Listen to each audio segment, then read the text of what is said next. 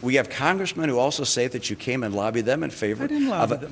You have It's congressmen who say that you came and lobbied them with regards to Medicare Part D. At No, the wait. same time, Whoa, whoa. your senator was taking in contributions. you just from- jumped a long way over here, friend. Well, another another area of influence look, peddling. I have always publicly favored a stronger Medicare program. I wrote a book in 2002 called Saving Lives and Saving Money. I publicly favored Medicare Part D for a practical reason. And that reason is simple. The U.S. government was not prepared to give people anything, insulin, for example, but they would pay for kidney dialysis.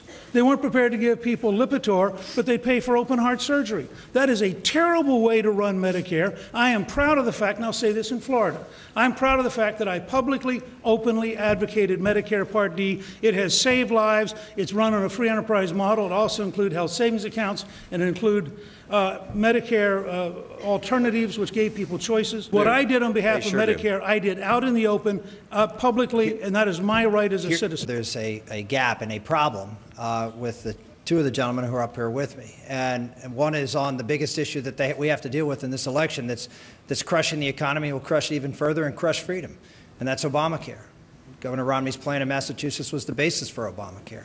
Speaker Gingrich, for 20 years, supported a federal individual mandate, something that Pam Bondi is now going to the Supreme Court saying is unconstitutional. Speaker Gingrich, for 20 years, up until last year, supported an individual mandate, which is at the core of Obamacare. So-called Romney Care and so-called Obamacare have been positioned very closely side by side by your opponent, the senator, and, and again, you've been called insufficiently conservative. My health care plan, by the way, is one that, under our Constitution, we're allowed to have. The people in our state chose a plan which I think is working for our state. At the time we crafted it, I was asked time and again, is this something that you would have the federal government do?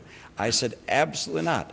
I do not support a federal mandate. I do not support a federal one size fits all plan. I believe in the Constitution. That's why the Attorney General here is saying, absolutely not. You can't impose Obamacare on the states. What I will do if I'm president, I will repeal Obamacare and return to the states the authority and the rights the states have to craft their own programs to care for their own poor.